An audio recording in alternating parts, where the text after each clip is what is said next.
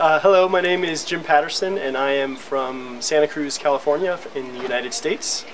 Uh, I got my start in photography, serious photography, back in the year 2001, and it was scuba diving and underwater photography that really caught my passion. Nowadays, I have found a lot more inspiration from landscape photography, and uh, along the coast of California, where I live, is extremely beautiful. It's a rugged and beautiful coast, and that's where I get my current inspiration from. My full-time job is actually working for a scuba diving store in Santa Cruz and uh, that's actually my main source of income. Photography is a serious hobby that is starting to pay some of the bills. but as with all photography, the equipment is uh, pretty expensive. So I really enjoy teaching and uh, seeing how people that are learning how excited they can get about photography. Um, because I was that once that same way, and to some degree I still am. I feel like I'll always be an amateur, and I'll always be learning. Uh, and to see people's eyes open up when they take photographs that they're proud of is extremely pleasing. In the first roll of slide film that I got back from a scuba dive that I had done, where uh, looking through that transparency, you know, of course it was Velvia 50 speed, oh. uh, and it was just crisp and full of details and vivid and um, almost brought a tear to my eye because I realized then how good photography could be. Um, I mean, I'd say with, with Photoshop, uh, the biggest post-processing thing that I like to use a lot of is luminosity masks, and I'm actually going to be giving a talk about them tomorrow. Um, because they're not a uh, something that you can find under the filters or the tools section of Photoshop, um, you need to create these luminosity masks yourself, and uh, I use them a lot in my post processing. No, they're they're once you know how to make them, they're extremely easy to use, um, and it's it's just something that once you've seen the steps and it a few times, it'll become second nature. I would say that when it comes to the commercial aspect of photography, I don't see, think that I would ever do portraits or weddings. Um, I just don't feel as comfortable photographing people. But uh, in terms of something very much the opposite of underwater and nature photography, uh, I love basketball, and I think it would be awesome to be uh, a sports photographer at an NBA basketball game. So just no neutral density. Uh, no, no, just just capturing the action and and mostly having courtside seats where you basically get to sit and have the best view. well, you think that that does not work.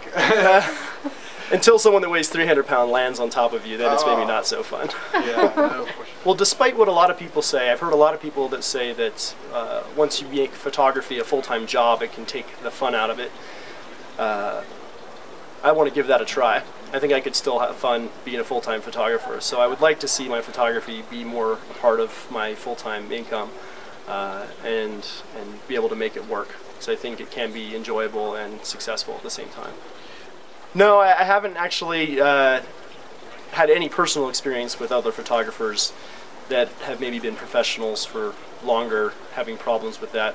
Um, I've read plenty of articles online, blog articles, and about professional photographers having a hard time now because there's such a growth in photography with digital that there's a lot of images available to publishers that weren't there before, uh, and that amateurs sometimes are willing to give their images away for free, which can undercut the market. Uh, the first camera I ever had was an old Canon SLR, some sort of uh, EOS, I don't know what it was. It was a Christmas gift, and it's suffered a, a, a sad fate. I put it on top of the car one day and drove off, and heard a thunk, and my friend convinced me it was something else, and got home and realized my camera was gone. Um, I invested in some Nikon gear uh, about a year later, mostly because a fellow friend of mine had heavily invested in it, and I, I figured he had done the research and made it an easy decision for me to follow suit. Uh, ever since then, it's just been uh, a matter of convenience. All the lenses still work, and I've continued on and I haven't had any problems, so I've been really happy with, with that equipment. I currently shoot with uh, the Nikon D300 and I have a 12 to 24 lens, a Nikon 12 to 24, I've got their old 35 to 70 for my mid-range. I have a 70 to 200 f2.8 VR.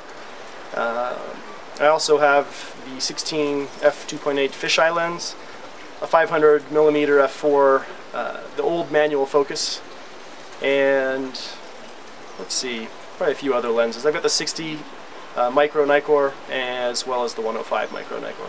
Yes, I, I use a, a variety of neutral density filters, both graduated and solid. Uh, majority of my graduated filters are by Lee, and I have uh, a couple Singh-Ray as well. Um, my golden blue polarizer is is definitely a Singh-Ray specialty. I don't think anyone else makes something like that. Uh, and then I've also I have a B&W polarizer as well as a B&W 10 stop uh, neutral density filter, solid neutral density filter. For underwater, I've been using uh, strobes ever since I started. Uh, but for landscape photography, I, I, rarely have used a flash. Not that I'm against it, I just uh, I don't have a lot of experience with it. The LED light painting seemed more maybe natural approach and, and just it's almost like using brushstrokes with a flashlight.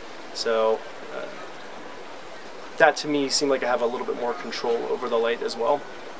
For creativity, it's good to have different colored uh, either gels or uh, I use like a little plastic cutout and put it inside the flashlight. So I had a red flashlight and a white flashlight, but you can use any color.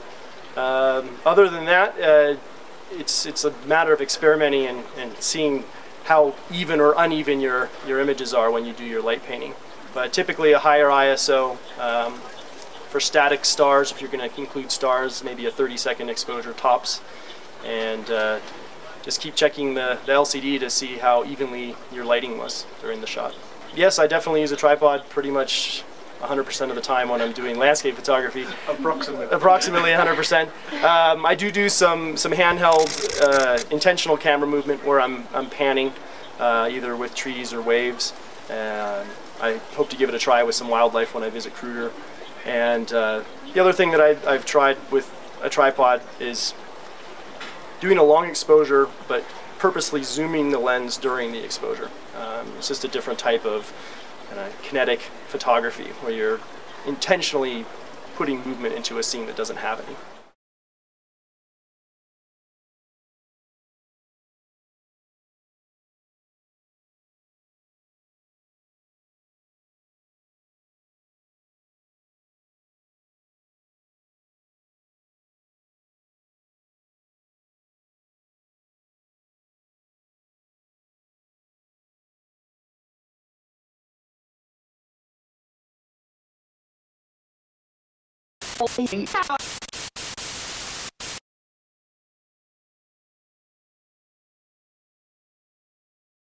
My pocket and pulled the remote out and it knocked the microphone battery uh, pack off and that pulled the mic off of my shirt and hit the ground and I was like, it just started. oh, well, don't worry about yeah, it. Yeah, yeah.